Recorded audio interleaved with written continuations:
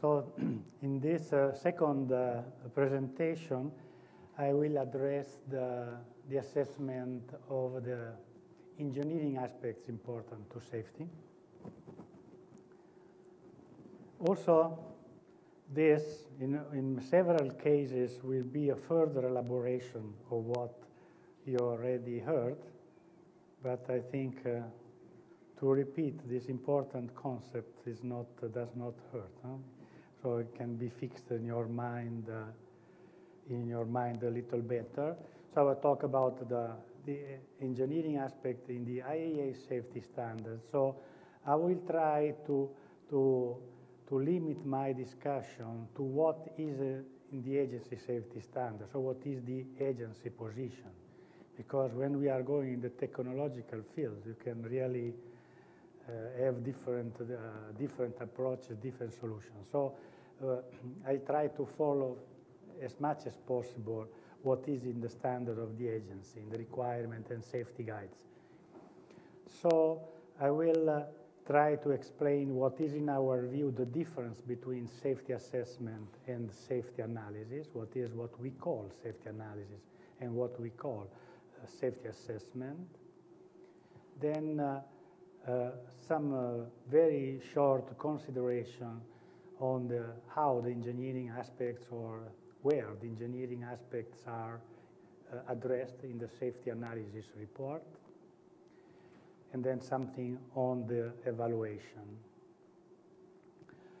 So the term engineering aspects or engineering aspects important to safety was used in the first time in uh, at least in the agency standard because it's a general term, know, so you don't really need a standard of the agency to address this, is, uh, was in NSG 1.2, Safety Assessment and Verification on NPP. This was the first standard where there was a distinction between at least an attempt to put some order in the safety assessment and in the safety analysis. Now these things are codified in the requirements, so there is no uh, confusion anymore.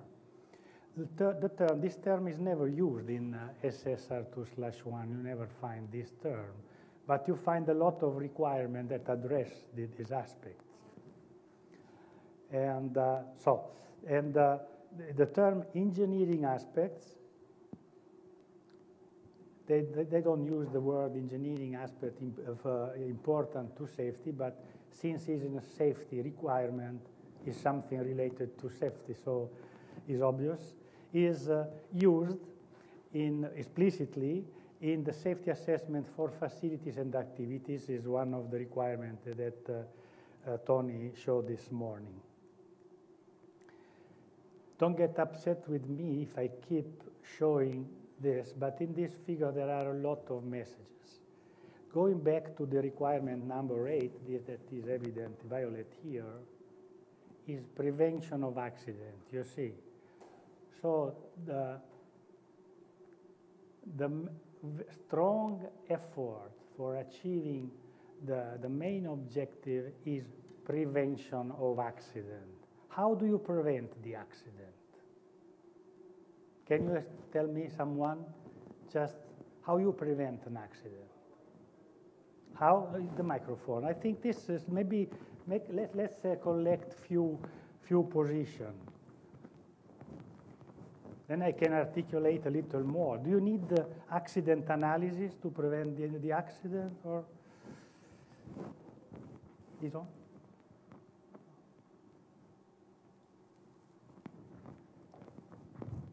Avoid to have a problem. Uh, you start to start to study the problem and improve an engineer problem or solution to try to avoid the problem you could imagine in the past. What are the problems first? What kind of problems you want to avoid? Release of material to the environment. They have a name, this problem. One is called failure. Okay. So you don't want your equipment to fail. And the other one is malfunctioning. So you don't want the parameters that you have in normal operation, they go outside of the range. These are if you keep the parameters in the range, not, nothing breaks in your, in your plant, you don't have any accident. So you have to do, most of your effort should be to prevent failure and prevent malfunctioning. That means you want to, to produce what we call a robust design, robust, strong design. The problem is how you do this. You do this through a strong implementation of all these engineering aspects that are affecting the quality, the strength of material, the margin, the proper implementation of the defense in depth. So this is what you have to do. So dealing nuclear safety, most of people think that is a, there is one strong message, that very simple message, I think is the only message in this, in, in this presentation that the people are focusing very often, they confuse the term safety assessment and safety analysis with transient accident analysis, thermohydraulic calculation. This, of course, is a relevant part, is recognized in the defense in depth. If something goes wrong, you have to know what you're doing. But first of all, you have to avoid that things are going wrong. So that is what we are talking in, in, this, uh, in this presentation uh, this afternoon. And that is how the Principle 8 is spelled out. All practical effort must be made to prevent and also to mitigate the, the, accident. But first, the effort should be in prevention. So we should not forget this. And then, how do you prevent? You see the strong implementation, implementation of the defense in depth, effective management system. These are concept quite general and that you are very familiar with, I'm sure. But you see, adequate site selection, incorporation of good design and engineering features, providing safety margin, diversity, redundancy, all engineering rules that are, uh, that are aimed at preventing, mostly preventing accidents. Design technology and materials of high quality and reliability control, limiting and protection system, surveillance feature, and, and so on.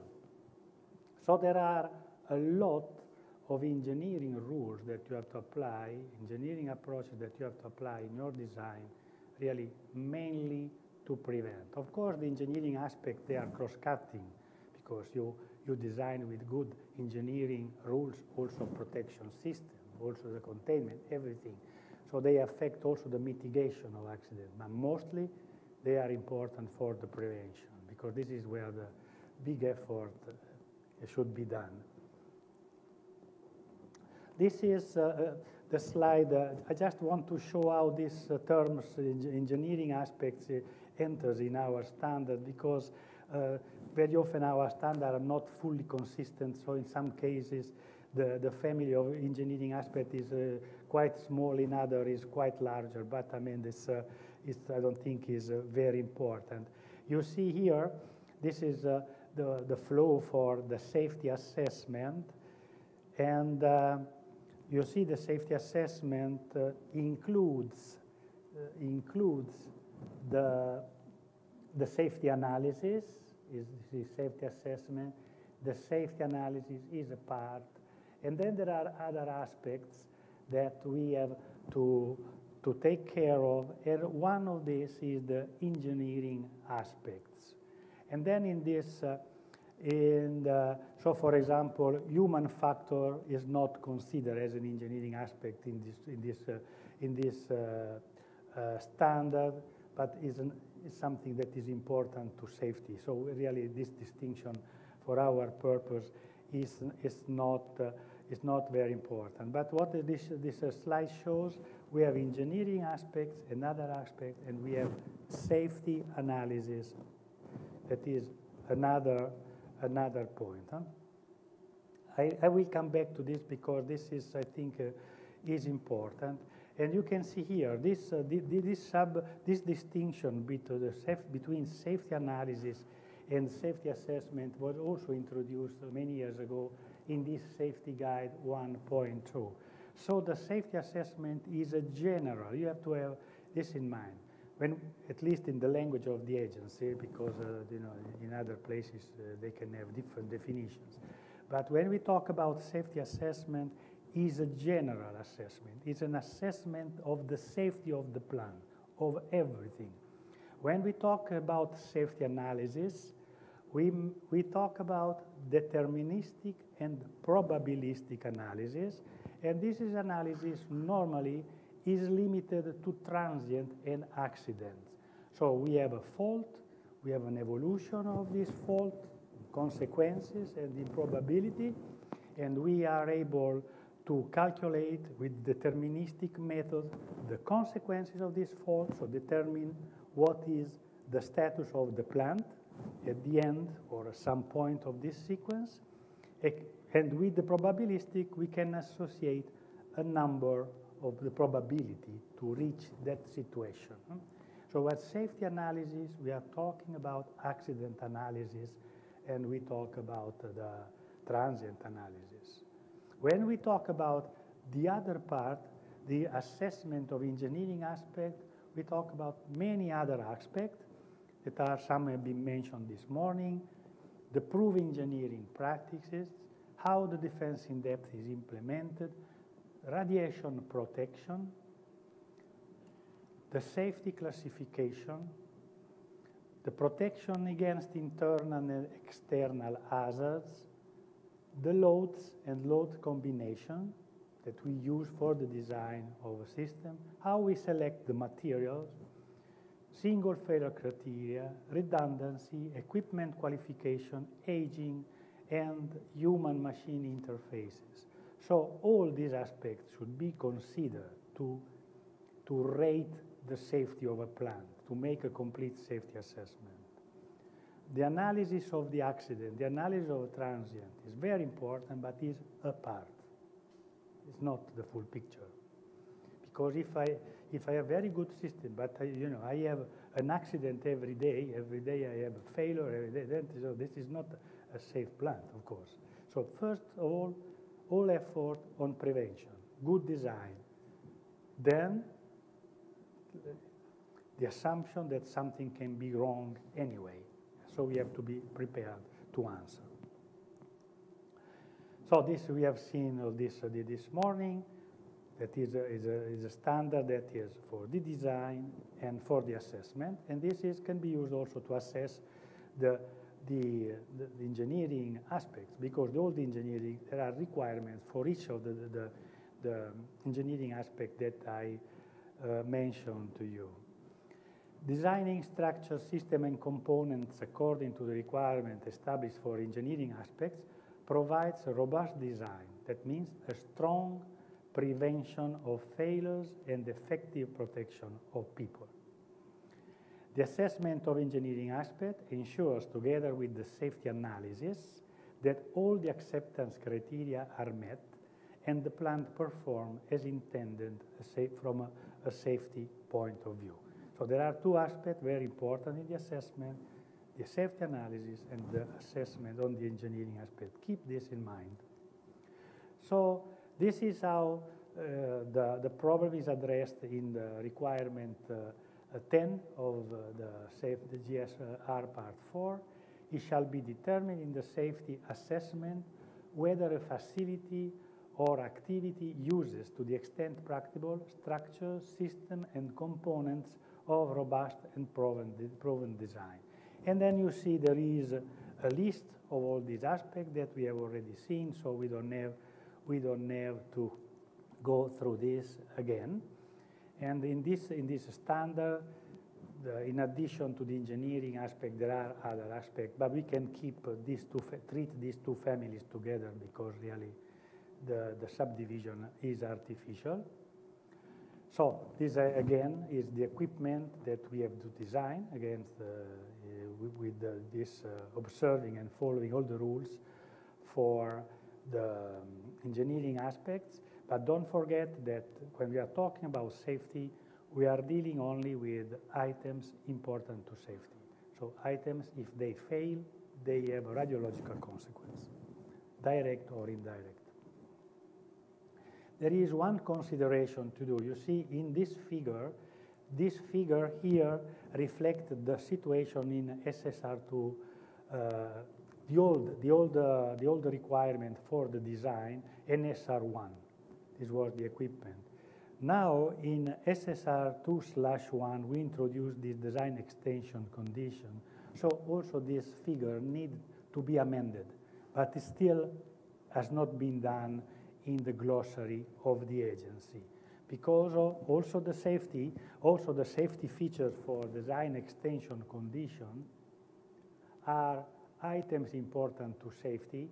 Also in general, they can have I&C part, actuation system, and support systems. Why we have to consider uh, separately and not together? Because the design rules that we are going to follow are different.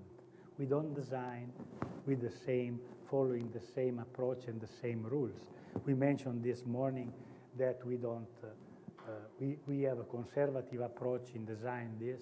We don't have, we have a best estimate approach designing this. We require the single failure criteria here. We don't require the single failure criteria. And then also when we classify, and then we will discuss this a little more tomorrow, when we classify these systems, they follow in a different safety class. Hmm? So it's important to keep these two things separated. But unfortunately, in the, in the, um, in the glossary of the agency, you find this old figure yet has not been changed. But this should, should be done.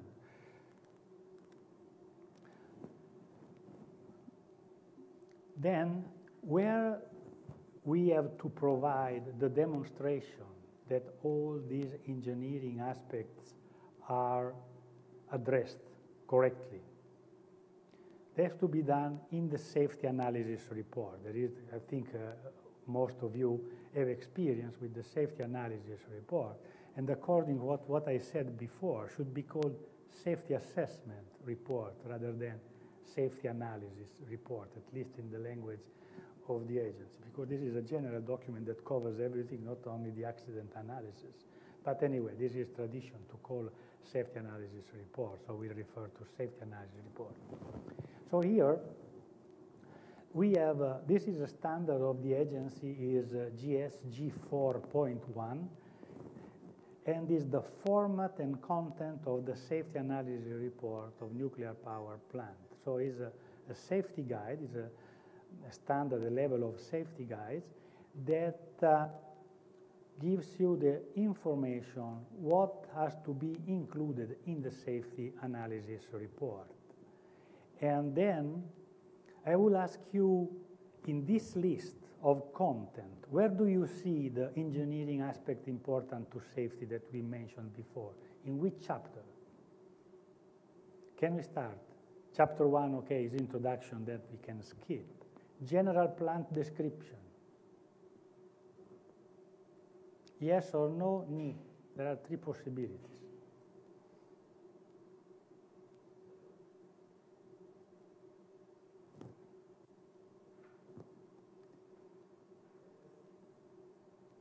Of course, they are not addressed in all.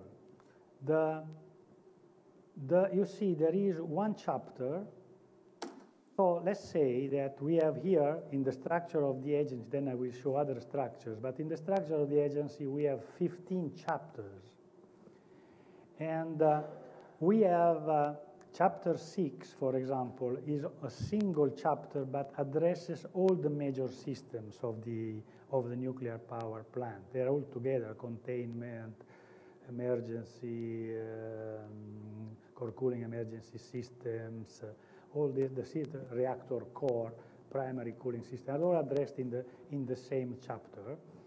But so that is the reason there are only 15 chapters.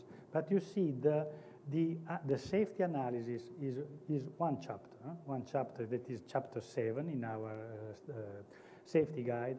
And I would say that the, the, the, the, the engineering aspect are are addressed in the general design aspects because there are the general aspects that are applicable to all systems here. The description and conformance of the design of the plant systems where there are typical aspects for each. Then there are radiation protection. If we include radiation protection, we consider also radiation protection as an engineering aspect, or so we have to do this. And probably radioactive waste management. So these are the main, the main chapter where the, so are, are distributed in the safety analysis report, but they occupy a large fraction of the safety analysis report.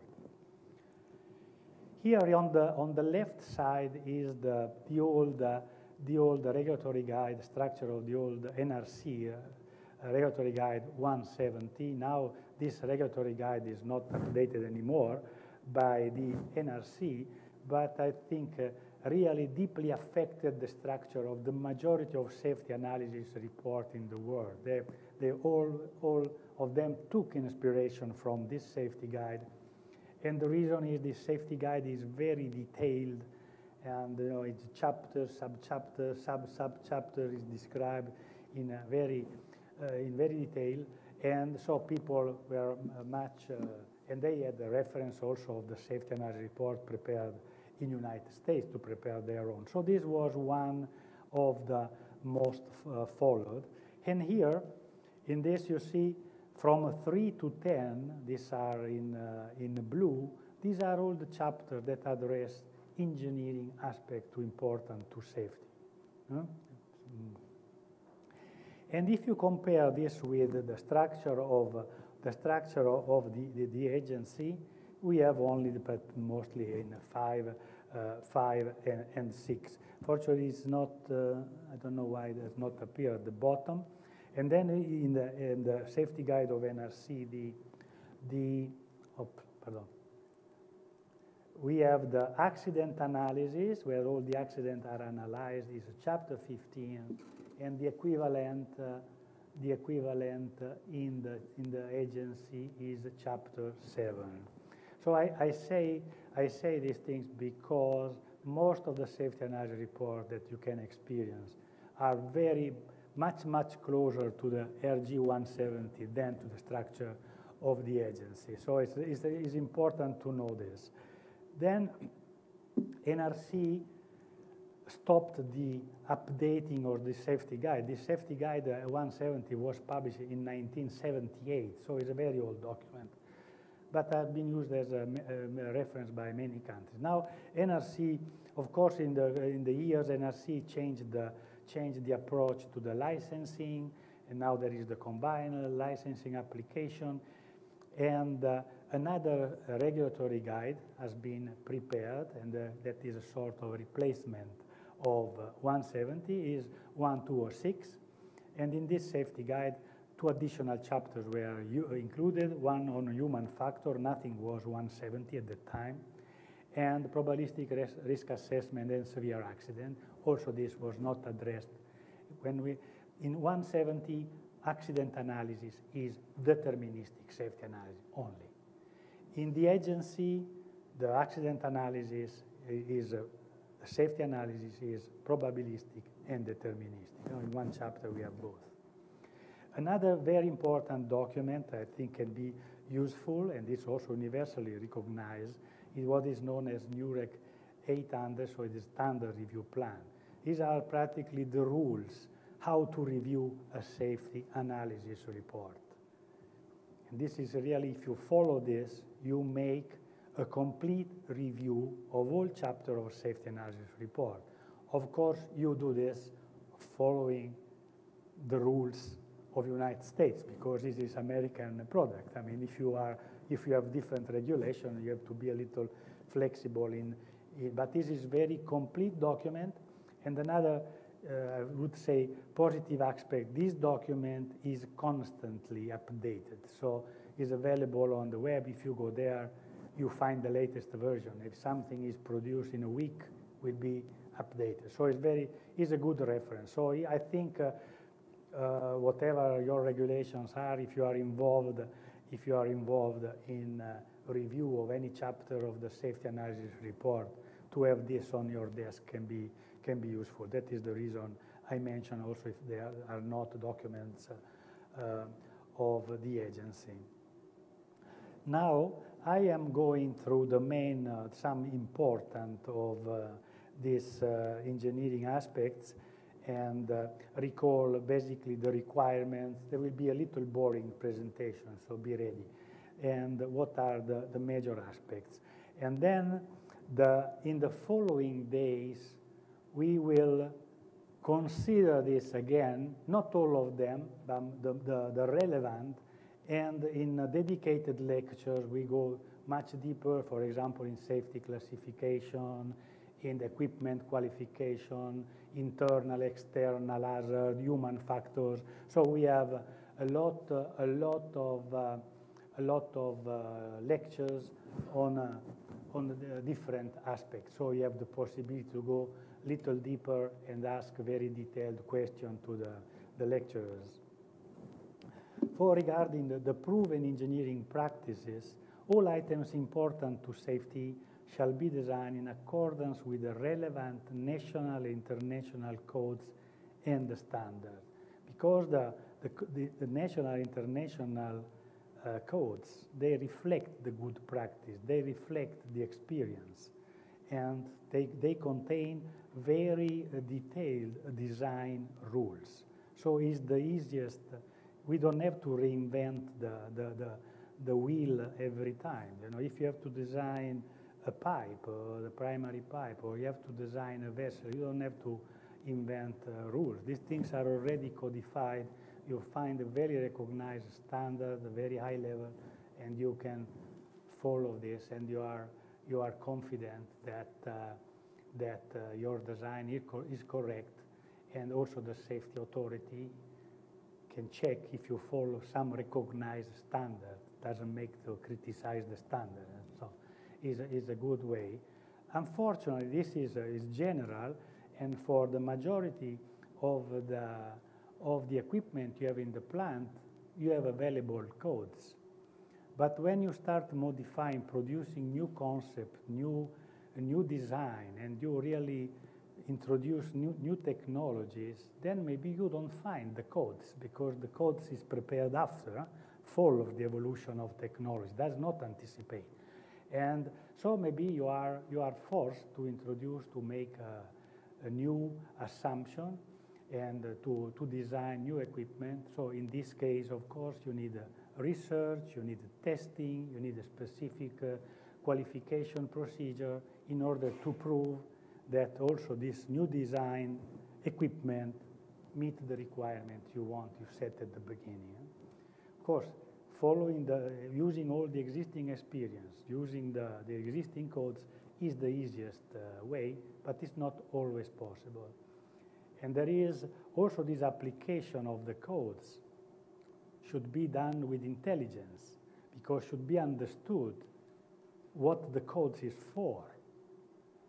And really, if the code that you are using is exactly the, is the code that you need for your design, for your piece of equipment. So you have to know what is in the code, and you should know the applicability of the code. It's not just sufficient to take a code and follow. Maybe then you, you use the, the wrong one.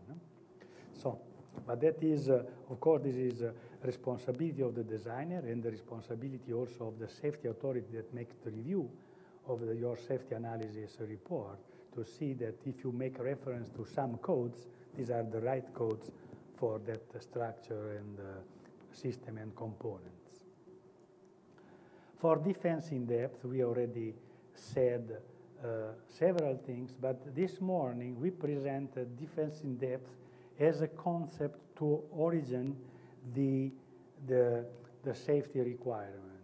But in SSR 2 slash 1, there is a requirement that said your design shall follow the defense in depth.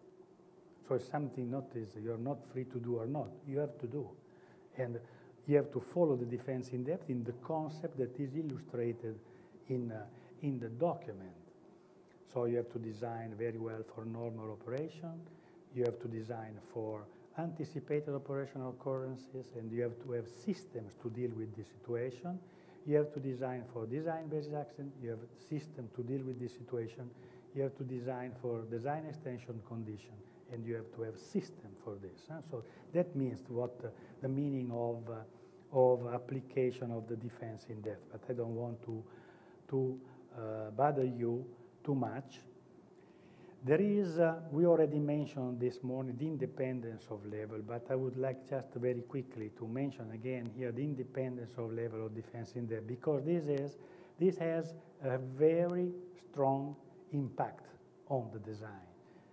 That uh, implies that uh, we have uh, implies the addition of other systems, implied a new design, try to make uh, to, to make completely independent the auxiliary system, the supporting system like the power supply, compressed air supply, some cooling, and so, so is a big impact.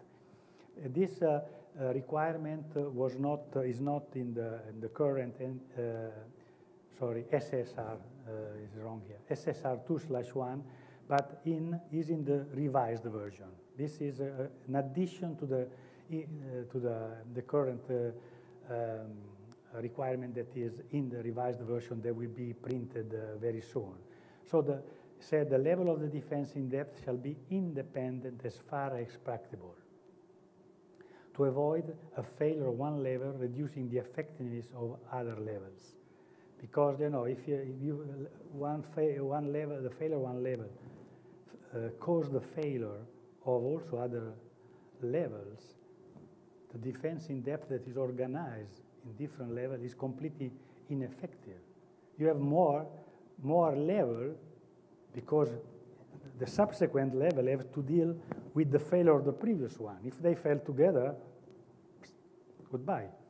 And that is what uh, in Fukushima happened practically. In, uh, so in particular, safety feature for the design extension condition, this is required especially feature for mitigating the consequences of accident involving the melt, so severe accident, shall be as far as practicable independent of, independent of safety systems. So the factors that affect the independence, we already mentioned, are the sharing of systems.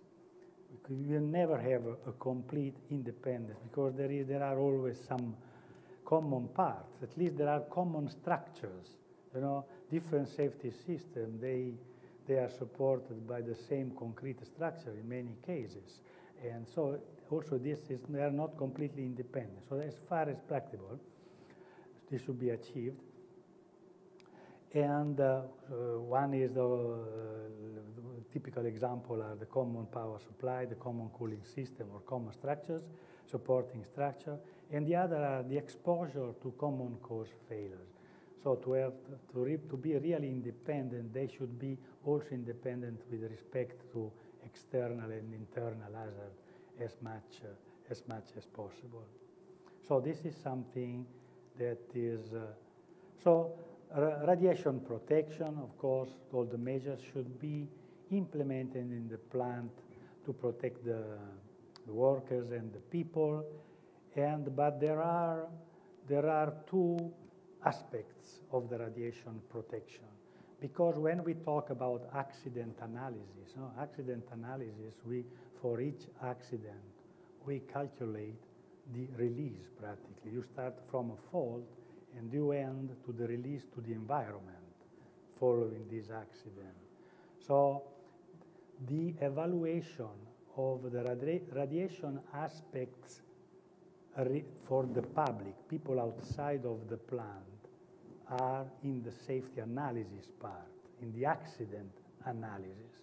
So the radiation protection of the people is addressed in the, in the safety, the accident analysis, in the safety analysis part of the safety assessment report. And of course, there are different situations that also they are considered. One is the normal operation, the plant uh, really uh, working normally during the, the year and the releases and the dosage should comply with the prescribed limits and should be as low as reasonable achievable, that ALARA.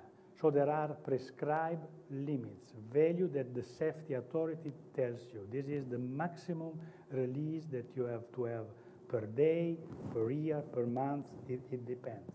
So in, during the normal operation, because also in normal operation, the plant produces some radioactivity, and this uh, radioactivity should be, in a way or another, eliminated, but the quantity of the, that we can we can uh, release uh, to the environment is established, the maximum value is established by the safety authority. And this also should be proved and demonstrated in the safety analysis and should be in the safety analysis report because this is, is practically is the doses that the, the members of the public experiment more frequently because the plant operates every day. The accident maybe never happened in the life of the plant, hopefully. So these are the doses that the members of the public are, are subjected to. Then for the accident conditions, here the approaches are a little, are not always the same. The releases and the doses evaluated in the accident analysis should comply with the acceptable limits. You see, we switch the terms from prescribed limits to the acceptable.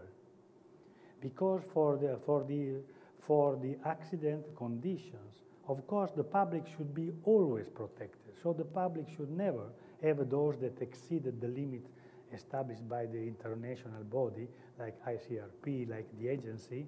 So these are, but during accident condition, this is uh, quite difficult to, to demonstrate. So the, the safety authority can, in some cases, eh, accept some values, but they cannot impose, they don't normally don't impose this value, but they gave this indication as a design target, you should not exceed the, the, this value.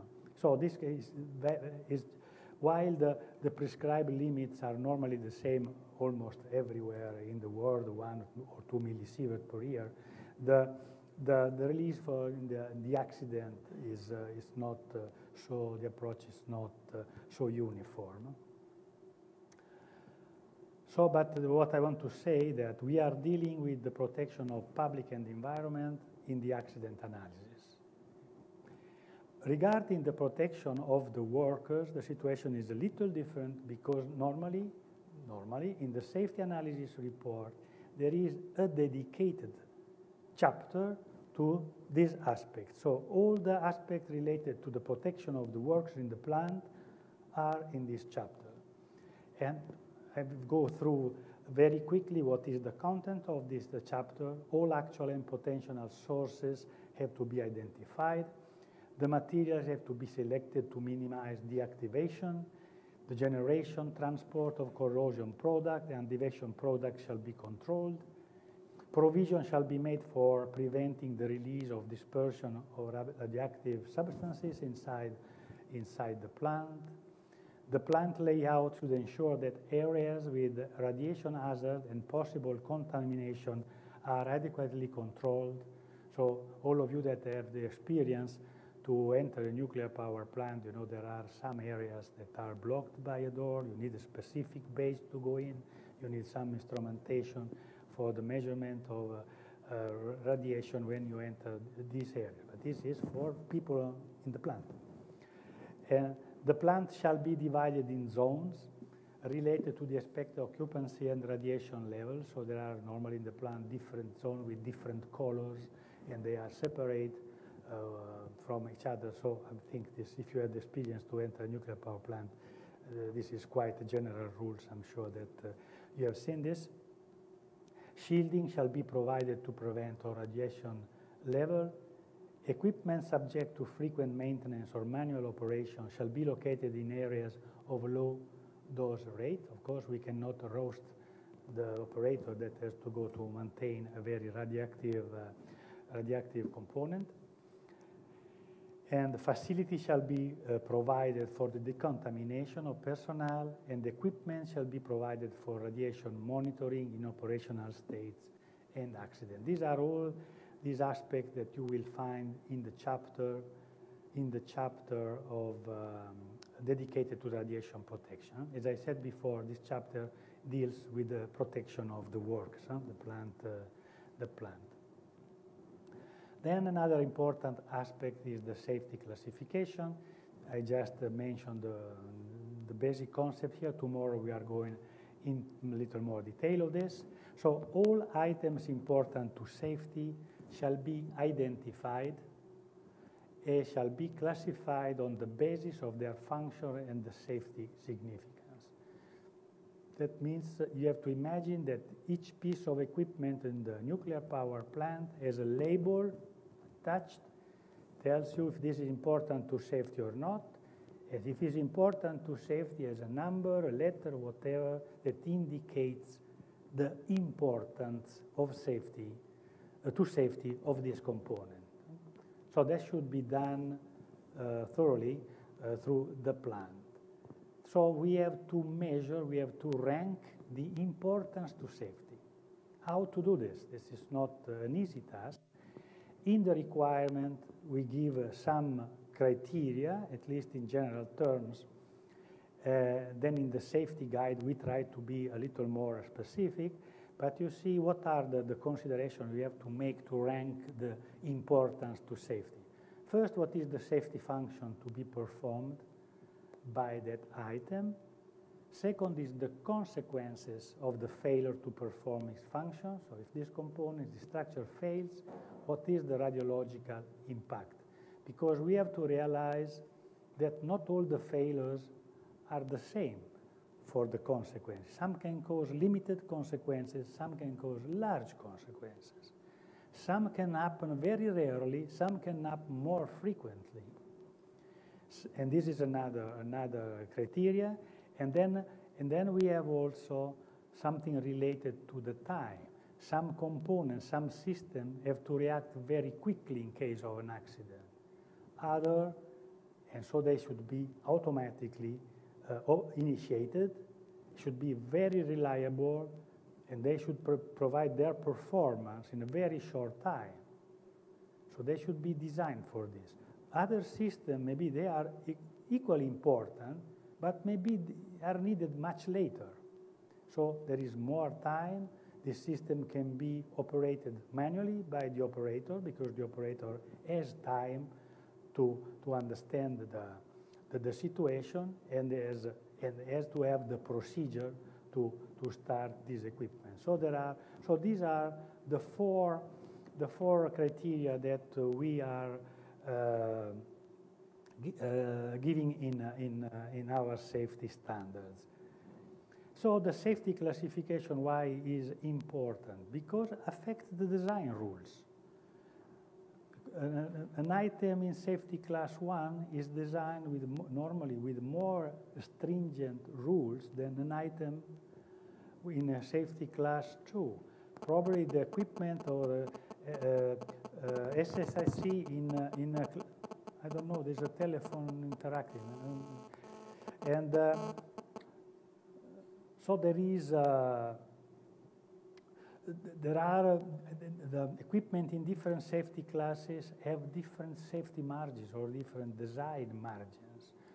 They are subjected to different uh, testing and maintenance rules. So there is a big impact on this. Huh? So uh, classified one component in one class rather than into another has uh, impact, very strong impact on the cost, immediate cost in the design and manufacturing, but also cost during the life of the plant because require more frequent intervention. So you realize how this is, is something very important. And uh, also because of this, we had a lot of problem in the agency to prepare the safety guide on safety classification, you know, because there are different approaches in uh, different uh, in different member states, and they are not really keen to, to change their approaches just because we write a rule on standard of the agency. So this is a very, a very sensitive subject. Then we have the protection against internal and external hazards. Of course, the requirement said we have to, to all foreseeable internal hazard and external hazard including the potential for human-induced events directly or indirectly affect the safety of the plant, shall be identified and their effects shall be evaluated. So hazards shall be considered for the determination of postulated initiating event and generating loadings for use in the design of relevant items important to safety for the plant. But you realize that the hazards are not the same for all plants because the internal hazards, so those that are generated inside, the plant, like fire, like internal explosion, like forces due to pipe breaks or pipe weeps, so this falling of objects, heavy objects, all these that are in the family of the internal hazard, they depend on a specific nuclear power plant, a specific design. But the external hazards are extremely related to where the plant is located, to the site. So for each site, we need a, a careful uh, evaluation to determine what is really the hazard, what are the different hazards for that specific sites. And from this hazard analysis, then the designer, according to the rules established by the safety authority, will determine what is the, the specific value of the external events that he has to consider to design the structures. For example, if you have the seismic, uh, the seismic uh, uh, hazard analysis, you have a curve. There is the, the result of the analysis, where you have, for example, a magnitude of the earthquake against the frequency. So you have very low frequency, very high magnitude, then when you, the, the frequency increases, you have a much smaller. So you have a, what is an hazard curve. You are familiar with this. An hazard curve. Now, which value are you going to use for your design? This is, uh, of course, there are different approaches, but normally you, you use a value that is in the range, for example, uh, return period 10 as minus 4. That is the rule that people are following now, at least for some equipment. So you go to 10 minus 4, and then from that you have the, you have the magnitude of the, this earthquake, and then of course you make the conservative consideration, you add margin and whatever. At the end, say, this is my design basis earthquake. I have to design my system or this family of system with this earthquake. That means I have to consider the loads of this earthquake and design for this. You know, the plant is not subjected only to the loads of the earthquake because at the same time there are other loads. Think about, about pressurized components as loads generated by the pressure, loads generated by the temperature or gradients of temperature, and you have to combine these loads with the seismic load because the component has to continue to, to, to, to, to function or should not break with all these loads combined. So all these aspects are very important, but there is a very wide literature on this, and there are, there are codes, so these are addressed in detail. You can find a lot of information. So for our purpose in this introductory uh, lecture, we, we just mentioned what are the internal hazards of interest. Normally, first is the fire, explosions, flooding, we are talking here about internal flooding. So floods that are caused by faults. We have a tank full of water, the tank breaks somewhere or a pipe, and you flood something. So these are the internal hazard flooding.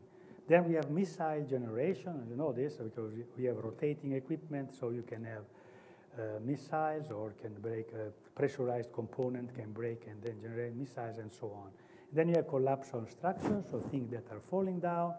So in your design, you have to, if there is this risk, you have to avoid that items important to safety are below things that can fall. In particular case is the, the spent fuel, the pool of uh, where you store the spent fuel. You always avoid to move on top of this fuel heavy objects. It is, uh, there are many, many regulations. They really oblige you to follow this requirement. Nothing heavy should be moved on top of this equipment. So uh, uh during the, the when, when the, there is fuel in the pool. Then the pipe whip, you know, when a pipe breaks, can can hit some other components and other and uh, uh, cause the failure of other components, especially you know if there are cabinets of instrumentation, things that can be really uh, be destroyed by, uh, by, being hit by the um, broken pipe or project impact when you have release of high pressure fluid. So all these things should be considered. So for each area of the, your plant, You have to make an analysis, what are the, the potential uh, hazard that you have, and then put measure for each of one. There are uh, rather well codified uh, measure to implement. And this should be described in the safety analysis report. And if you revise, if you review the safety analysis report, you have to check if the identification of the hazard is complete, and you have to check if the measure implemented for each hazard are effective. So the external hazard, we have a category of natural and human-induced. Also this, I think, you know very well. The meteorological events in the natural, the, so heavy rain, snow, ice, uh, depends on the, on the areas, uh, heavy wind, hydrological events, geological events, seismic events, and human-induced.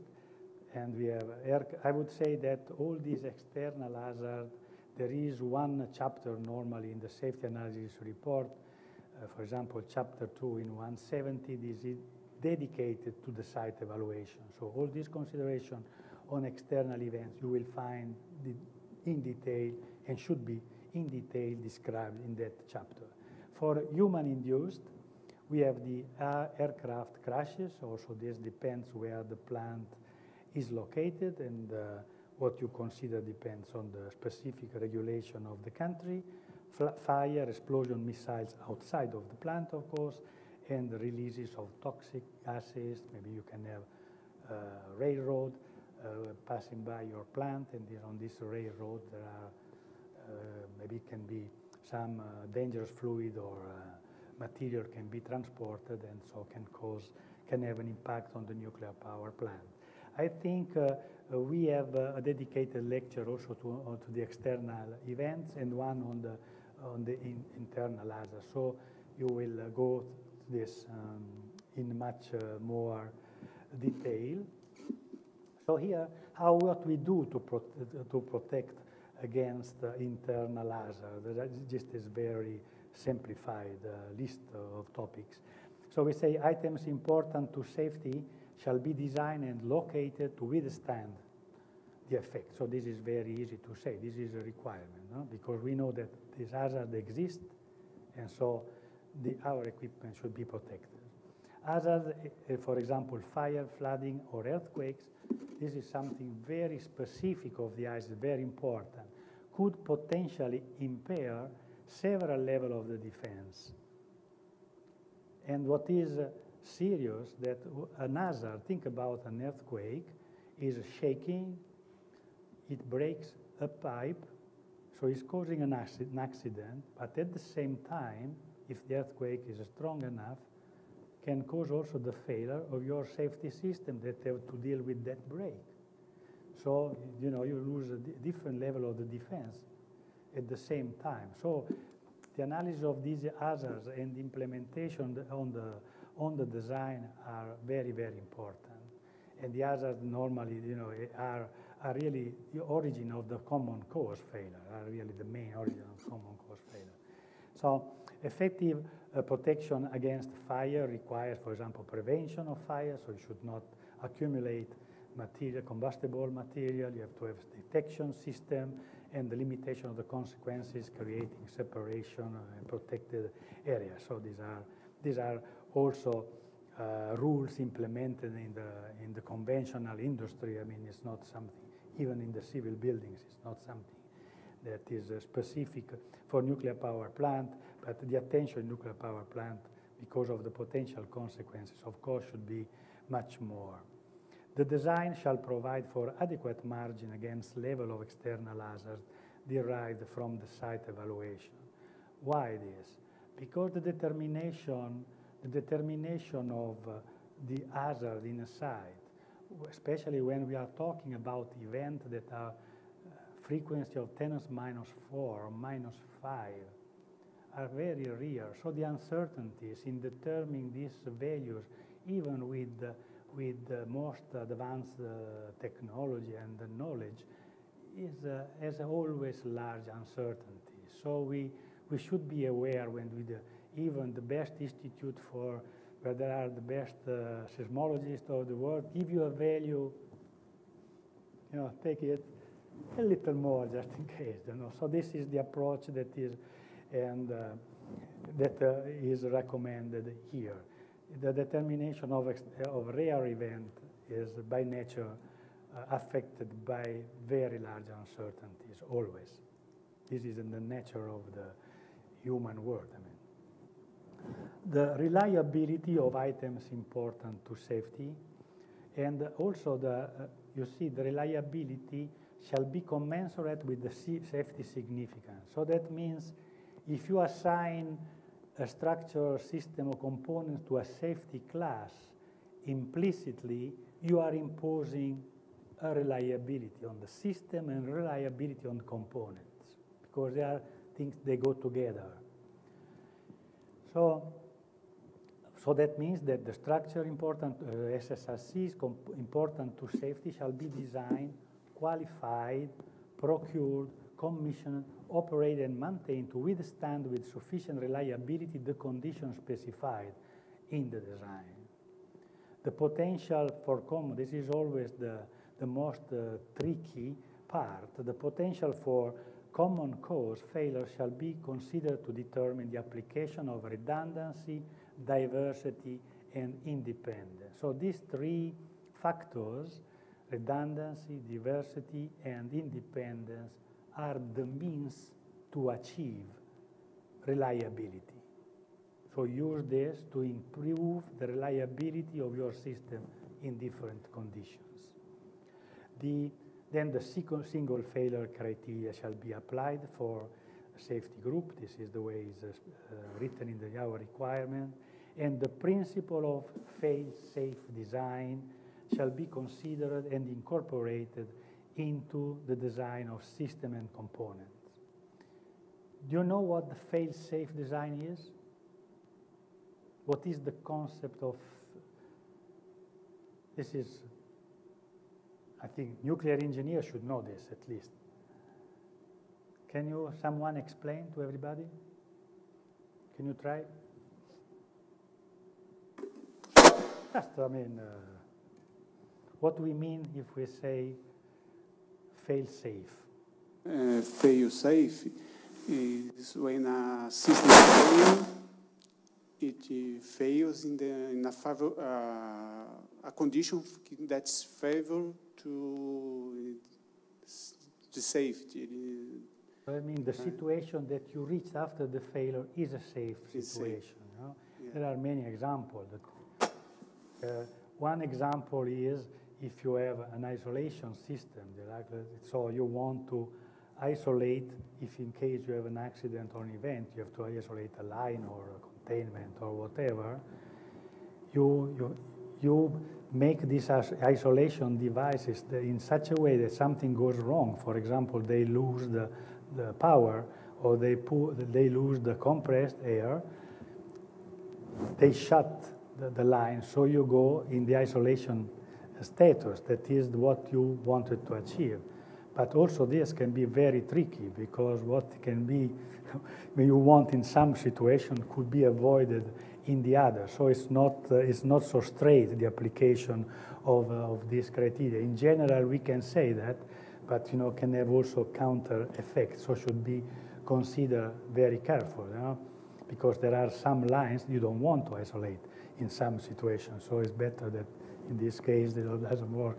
But there are, of course, there are considerations to do, but this is, as a general approach, is something to consider. So something goes wrong for any reason, and you achieve uh, a status that is safe. So also this in general should be followed. This is all, these are topics that are related to the reliability. Then we have another requirement on calibration, testing, maintenance, and repair. Probably also this will be addressed uh, uh, maybe tomorrow after in the, in the, coming days. So the calibration, testing, maintenance, repair, replacement, inspection, and monitoring items important to safety. Items important to safety shall be designed to be calibrated, tested, maintained, repaired, replaced, inspected, and monitored as required to ensure their capability and of performing the function along the life of, of, the plant. So it should be something something important for safety. You have to ensure the, the, the, the functionality of this equipment. So this equipment should be periodically tested, maintained, and checked. That is, uh, that are providing, even after many years of life of the plant, still providing the function, if required, provide the function as intended. The design shall be such that these activities can be performed according to relevant codes and over the lifetime of the plant and without undue radiation exposure to the workers. These are some general aspects to have in mind. For calibration, testing, and maintenance during power operation, the plant design shall be such that these activities are facilitated and performed with no significant reduction of the system reliability. Also, this requirement has a strong impact on the design. I think something was mentioned uh, by, by uh, Tony this morning. If you want to test, for example, a redundant, you have a redundant uh, system, that means uh, a simple redundancy, two, two trains that can perform each 100% of the performance that is necessary, and you want to test one of these during the operation, you are forced to disconnect this system during the maintenance. So that means that is in the period of time, you have only one. So in this period of time, your single failure criteria is not valid. You, you are operating the plant without having a safety system responding to the safety, to the um, single failure criteria. So what do you do in these cases? There are different solutions. You can prove that the, the maintenance time is very short and you know, it doesn't affect uh, the globally the risk of the plant, or another solution more practical and now adopted at least for, for many systems is to put another one. So you put three systems, so even if you have one in maintenance, you have the single failure still. So there are different ways to, to deal with this, uh, this problem. But you see, when you, uh, I'm telling you these things, but if you have the, if you, in your profession, you have to, to write a safety analysis report or to review, according to your role, a safety analysis report. These are all the aspects that you have to, to consider. You cannot forget any of this. Equipment qualification, all this very, very important. I think also on this, if I'm not wrong, we have, uh, you are going to, to give a, a, lecture on equipment qualification, so you will, will have all the details tomorrow. So qualification program, important is to understand if you are familiar, not familiar, what is the qualification. The qualification is really the demonstration, the practical proof, just to say in, in in, uh, in a few words that the equipment is going to perform under all the possible conditions that you can postulate is going to perform as wanted.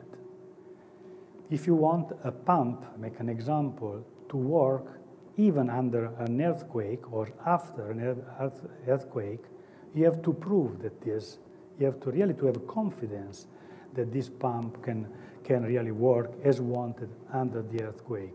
How can you do this? Of course, now there is a lot of experience. You can, refer to similar equipment, similar design rules, but there is a very practical, practical way. It's just to test it in a real situation.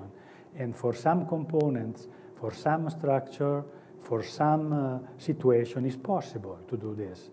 I'm, I'm sure that you have seen several times these big components that are on a shaking table that is reproducing earthquake, and then you can check if really keep the, the, the component, whatever, keep working and functional as, as, as desired under this condition. Of course, you can do the same with uh, radiation, temperature, humidity, for all the conditions that can occur during the life of the plant, during an accident, and when the component or whatever the system is, uh, is expected to work. So this is very, so the, the qualification is a science because there are different methods, so I think you will hear tomorrow more than this, but the qualification, the seismic qualification is one of the most common other things you can qualify for high temperature, for uh, fire and, and so on. There is a, but this is also very important aspect that should be addressed in the safety hazard report. First, what you should know what are the most severe conditions and combination of condition to which the, the, your equipment is subjected, and then prove that uh, it works as intended. Aging or, and wear out, of course, during the life of the plant, the, the characteristic of the plant, many of the characteristic of the plant are degrading, are changing, because uh, the material is getting older, some material that are very much subjected to, to the variation of the properties, and there are, the material of course is exposed to uh, cycle, mechanical cycle, thermal cycle, neutron irradiation, this is maybe tomorrow talking about the, the coolant system, the vessel, we will say something more on this. So really the, the mechanical properties, the electrical properties, the insulation properties of the materials are changing with time. So you have to predict this and include also in this case margins and also to have the, the possibility to replace and to maintain this during the life of the plant. But this is something that you have to consider. And this is becoming more and more important because now there is the trend to extend the life, the life of the plant. Before they are talking about 30 years. When I was a student, it was 30 years. Now it's 60 years. So it's, it's growing, the expected life of the plant. So can you imagine in 60 years what can happen, you know? Some components, some materials, it's a, it's a very long time. So you have to have the possibility to, to deal uh, with all these aspects. Then human factor, also this is another very important aspects then the systematic consideration of human factors, including human-machine interface, shall be included at early stage in the design process for a nuclear power plant and shall be continued through the entire uh, process. Also, this there are a lot of experience. The modern plants, of course, are much better than the old plants. And so there are, there are a lot of rules and there is a, a really a wide um, literature dealing with uh, aspects. But uh, some, as a general, uh, a general rules, the need of intervention by the operator on a short time shall be kept to a minimum. May I ask you why? Why you think the, the operator should uh, act as less as possible?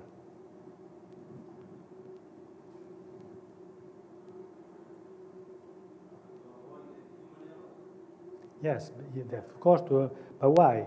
He's not reliable, the operator, very well trained, he studied a lot, he was trained in the, the simulator. Yeah, he had a fight with the wife, maybe, and then he came to the off, to the nuclear power plant, and there's a problem because the human is the is the less reliable. You know? In the scale of reliability, the first are inherent features in the plant because these are intrinsic to the physics. These are very reliable. Gravity cannot be cancelled, you know? and uh, heat transport is the same. So these are, or uh, some neutronic uh, phenomena, you know. So these are intrinsic. So you might, you can rely most on this, and your design should rely first on this intrinsic characteristic on physics. Second are the passive systems in, in the scale of reliability. Then there are the active systems. The last one is the operator. So it's the, it's the weak point of the chain, the, the operator. So you should really, of course the operator is very important, but should be used with, with care and should have the, the, the time to think, the time to, to, to uh, recall what the procedures are for that specific situation, should have the possibility to understand exactly what is, what is going on, because this is in some cases not so simple. And, uh, and so this is, and the, normally the trend is now the approach is to uh, delegate to the operator most of the, the action in the long term, in the long term. The very quick actions normally are taken, especially during accident condition, by automatic system this is valid through at least for the, the reactor that we are considering, uh, water reactor like uh, pressurized water reactor, boiling reactors. There are other other uh, type of reactors. Maybe this not uh, applies 100% what I said, but for this reactor, this is the trend. So the operator is uh, requested to act for long term when the situation is already clear and less critical and, and the, intervention can be correct. So the, the, the design shall be operator friendly. The, the, the working environment shall be designed according to ergonomic principles. So I should not put something that cannot be reached, uh, a switch or whatever.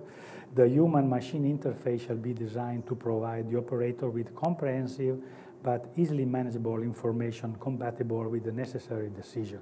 So these are very general uh, requirements that uh, I just recalled in this, uh, in this introduction. Then uh, there are still other, other uh, engineering aspects that uh, I did not include because this, uh, I understand this is, you know, is a heavy presentation with all these rules. I don't have any figure here, you know, any nice picture, just so it's uh, try to limit. But I think uh, in the coming days uh, you will uh, reconsider most of this in uh, much more detail. If I'm not wrong, this is the last one. Yes. So, and I, uh, before concluding, I think uh, I think that you register the message I want to give you, as I said at the, at the opening, is that there are several factors that affect the, the safety of our plant, and you should not forget any of this. Analyzing very well accident, and making this beautiful transient, and put the frequencies is something very important, but it's not the only, the only thing. First, you have to, to do very good engineering in your plant to avoid to avoid accidents, to prevent accidents. So this is the point. Prevention first. Okay, thank you.